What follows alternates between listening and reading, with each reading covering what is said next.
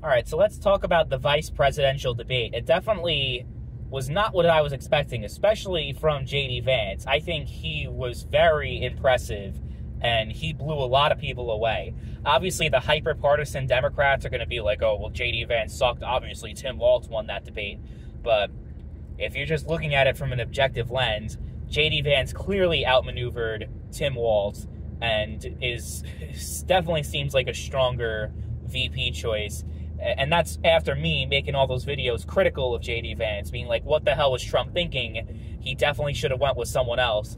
I was really saying uh, that it should have been Glenn Youngkin, especially strategically, because you would have been able to get Virginia because he's a relatively popular governor there, and JD Vance seemed to have a lot of baggage and didn't seem like he was really that qualified to be vice president or president, frankly, which sounds like a weird criticism because Trump himself was not necessarily qualified, right? And that was kind of the whole appeal to him. But I kind of get now why Trump chose him. He's the heir apparent to the MAGA movement. Trump sees a lot in himself in JD Vance. So I think that is ultimately why he went with him. And Vance can definitely hold his own in a debate. He's a very smart person. And I think that shouldn't really come as a surprise. There are a lot of people in the media that were kind of portraying him as a Dan Quayle type candidate, you know, in the sense that he was young, clueless, didn't know what the fuck he was talking about, and just made a fool out of himself and was horrible, like all these different things. Uh, he's no Dan Quayle.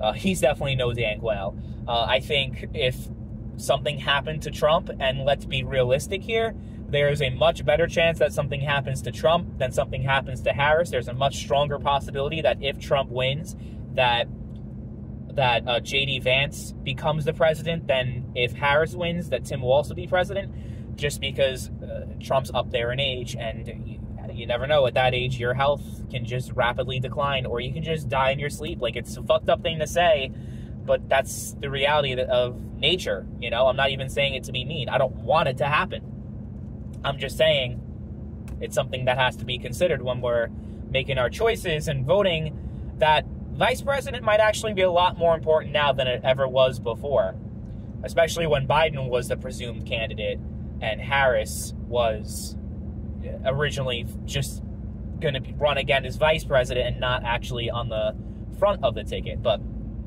yeah, I mean, I think I liked what I liked from both candidates is that they didn't attack each other. I mean, obviously, I mean, Walz spent plenty of time attacking Trump.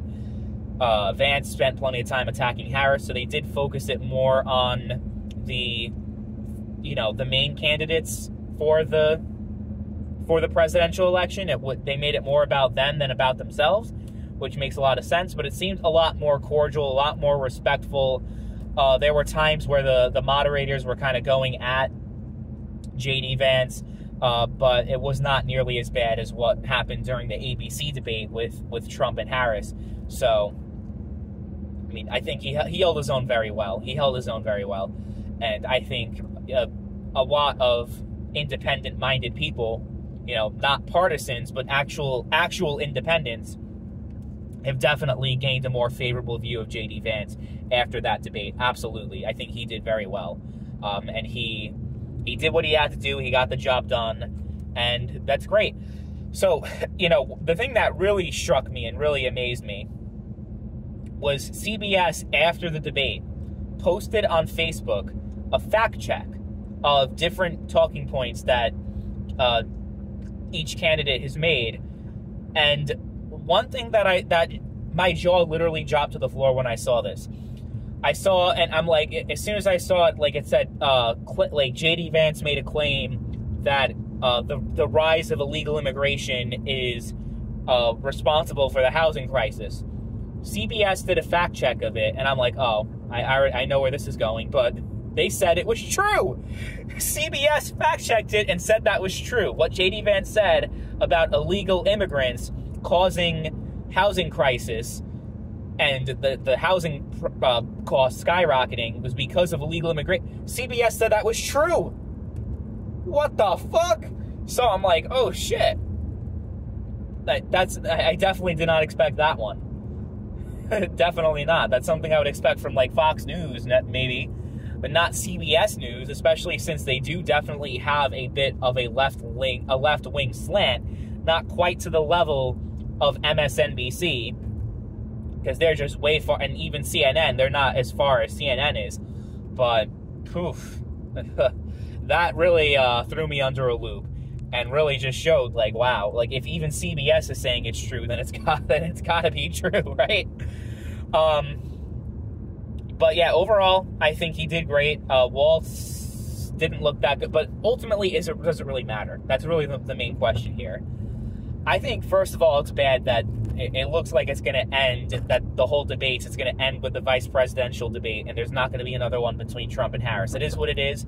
I understand why trump made that decision because clearly they were not gonna it was not going to be on the level playing field. They were going to go after trump and you know anytime he made a statement that they deemed was false and a lot of the time it wasn't even false i mean obviously he says false things but they went way overboard. And and of course you know harris said plenty of, of false statements uh, during that debate about there being no active military personnel and all that stuff like engaged in combat none of that was happening. It, w- it was not.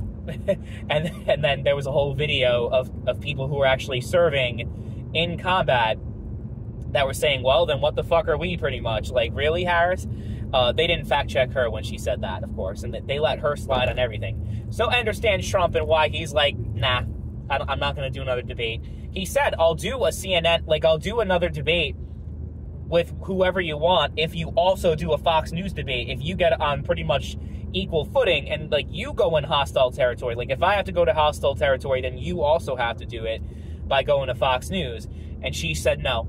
But everyone calls Trump a coward and not Harris. I love how that goes. I, lo- I love how that happens. But it's it is what it is. Um, I don't know if that's going to change the course of this election. Uh, I mean, with Trump not willing to do another debate, I mean, I don't know if another debate at this point would change anything. Like, because it's it's just going to be more of the same. I feel compared to the you know the ABC debate. But as far as the vice presidential debate is concerned, I think it'll change in the fact that if there were people who said that who were not going to support Trump because of JD Vance, then I think a lot of those guys are gonna a lot of a lot of those folks, a lot of those voters are going to change their uh, their opinion that way and they might be more willing to vote for Trump now because, like I said, JD Vance had a very strong performance. But otherwise, not really. It's going to be relatively inconsequential because vice presidential debates don't really change the outcome of elections.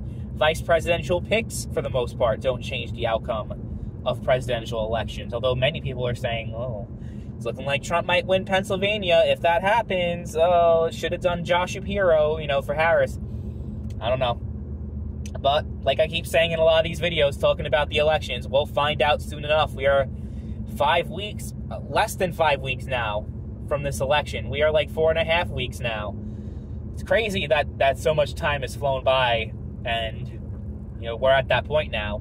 And I know there a lot of people are getting that ele- election anxiety, myself included. You know, as we're getting closer and closer and closer to the day, it's like, oh man, I really, really, really really want Trump to win, and I'm sure a lot of people the other way that are nervous about Trump winning, and they're like they really want Harris to win. Either way, we got to come to terms with the outcome and try to accept things the way they are because we have no control over it. You know, either way, and we need to like stop being like, oh, because you voted for this person, go fuck yourself. You're a piece of shit.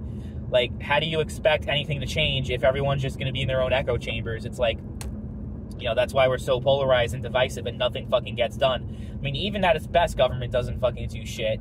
They just raise your taxes and make you pay more money and just fuck you over. That's what they do. That's that's all all the times when you have bipartisan agreement and bipartisan support. That's always what it is. Is to just fuck over the people, not to actually accomplish anything that improves people's lives. Oh no, of course not. You can't have that. So, whatever. But let me know what you guys think in the comment section about the vice presidential debate. How do you think? Uh, tr- uh, how do you think that Vance did? How do you think Walz did? And yeah, just let me know in the comments below.